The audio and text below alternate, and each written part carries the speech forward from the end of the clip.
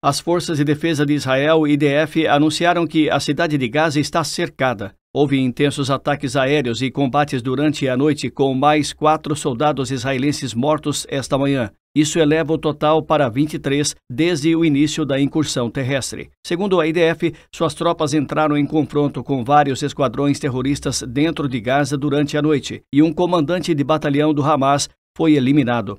A IDF também diz que o Hamas atacou as suas tropas com dispositivos explosivos improvisados e mísseis antitanque, e que os soldados da IDF na área dirigiram ataques com aeronaves e artilharia para neutralizar essa ameaça. Mais de 100 caminhões de ajuda entraram ontem em Gaza. É o máximo em um dia desde que a guerra começou. A IDF afirma que está facilitando a entrada de água, alimentos, medicamentos e equipamentos médicos para civis de Gaza.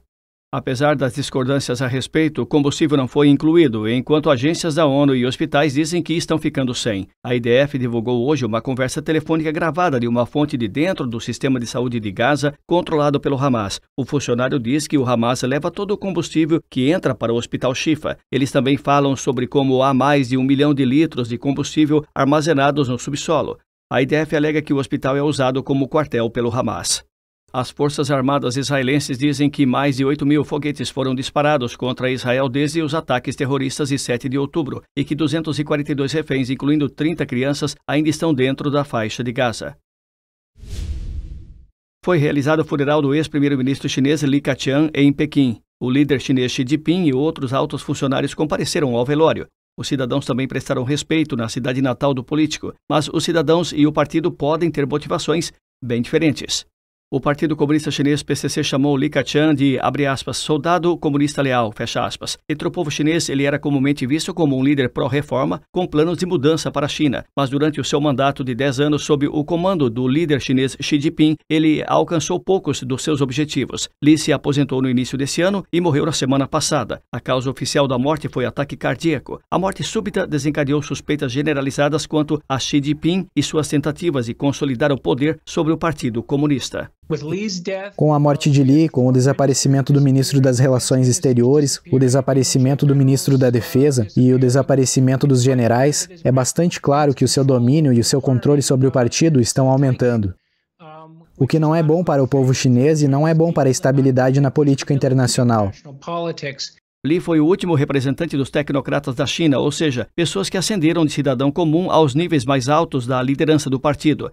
Nas últimas décadas, os tecnocratas foram empurrados para fora da arena política, beneficiando membros de família de elite, muitas das quais possuem ex-membros do partido. Li Keqiang não fazia parte da segunda geração dos antigos líderes comunistas, mas chegou à liderança central do partido. Este tipo de pessoa espera que a economia continue a se desenvolver, que os seus interesses sejam protegidos e que as reformas possam ser sustentadas.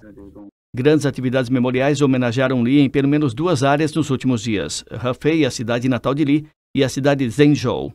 As pessoas esperavam em longas filas para prestar suas homenagens. O mecanismo de censura de Pequim entrou em ação poucas horas após o anúncio de sua morte. Quase todos os comentários nas redes sociais sobre o assunto foram removidos desde então. Especialistas sugerem que o bloqueio é uma tentativa de desencorajar os cidadãos chineses de organizar protestos. Uma fonte anônima de dentro da China contou ao grupo Epoch que a morte de Li poderia ser um ponto de virada no país. Sabemos que no sistema atual, a China é uma poça de água estagnada.